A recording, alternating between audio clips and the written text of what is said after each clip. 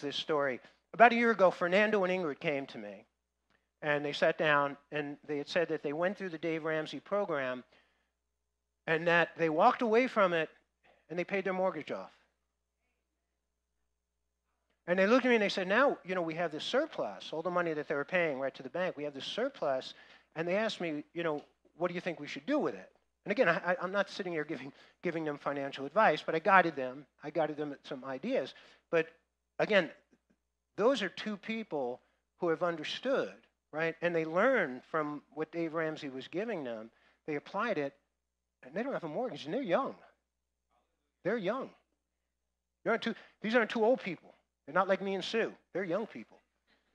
They got a lot of years ahead. Look at Proverbs 13 20. He who walks with the wise men will be wise, but the companion of fools will be destroyed. Walk with wise, walk with wise people. Listen, you know, don't go to your broke uncle and ask him about finances. Let me just say this to you. Don't go to anybody who's broke and ask him about finances. They, they, they're not going to be, they're not going to give you good sound advice. I have, I have a friend very, very wealthy friend, been a friend of mine since we were five years old, very successful businessman. And he said this to me. He goes, he goes, his financial advisor is wealthier than he is. And that was something that he thought was really important. Why am I going to go to somebody who is, uh, you know, is, is less wealthy than me? And um, I'm not saying you have to find right somebody who is who is you know extremely wealthy, but you you know just walk with wise people. You know, just some things, these are some people that I have tapped into recently. Um, have you ever heard of Ray Dalio? He's been, he's been the most successful trader on Wall Street in uh, the past 15 years.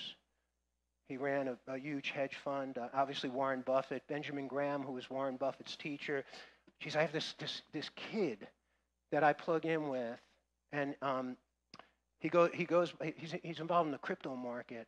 But um, yeah, I would just say again, be careful. I'm not, I'm not putting this out there with you, but his name is Crypto Jeb. He's 23 years old. He's worth $14 million. He started investing when he was 17 years old. And let me tell you, he is sharp. He's he just he's a chart guy, right? He's a chart master. And um, I go to him and check, you know, I'll check the, you know, the charts when I want, you know, chart information. But um, you want to you want to find people, again, and there's books, and there, you know, there's people on YouTube, and you want to find those people to give you guidance.